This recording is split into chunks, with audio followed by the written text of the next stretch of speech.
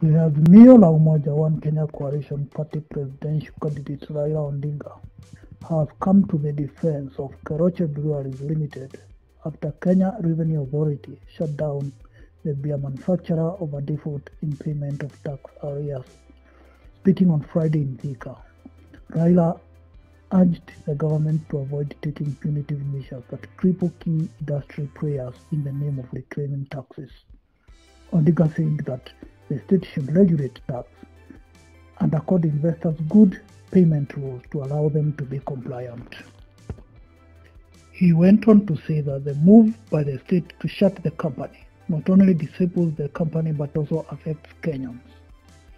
At the same time, while drumming up support for the Azimio faction, Odinga intimated that his administration would protect the private business sector and come up with good tax laws that would help investors and business people to be tax compliant. But don't close business because somebody has defaulted in paying taxes. Don't do it. Because if you, if you close a business, you're not only killing the investor, you're also killing the employees.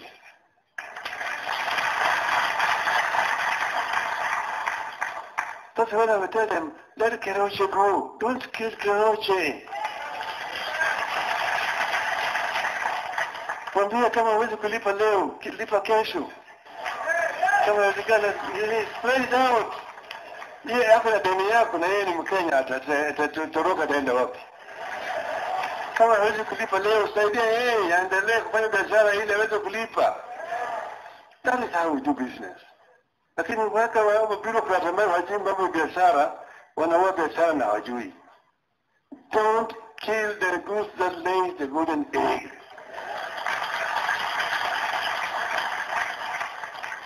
Sisi tutapanua.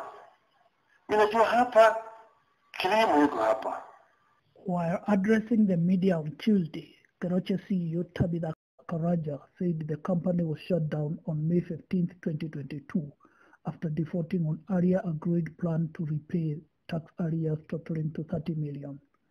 Karaja, however, maintains that KRA's move to shut down Keroche breweries is politically motivated, adding that KRA had gone ahead to issue agency notices to several banks against leading the brewer, fully paralyzing the operations of the company.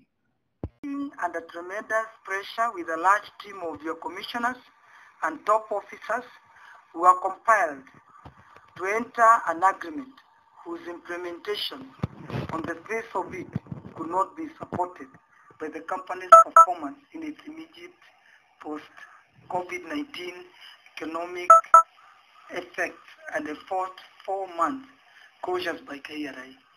Our pleas for time to on attaining full operational performance were rejected.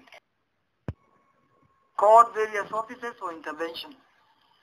And it has been made clear to me that I can only simply exercise my political and democratic right under the Azimio Umoja coalition and that has matters stand. The advance action will be sustained. My concern is that we must never mix business and politics.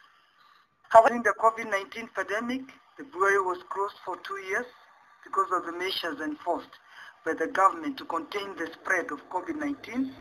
And during this time, we incurred tax arrears of 322 million. Still plead with the KRA to afford us an opportunity to get back to our feet and gain our footing as a manufacturer.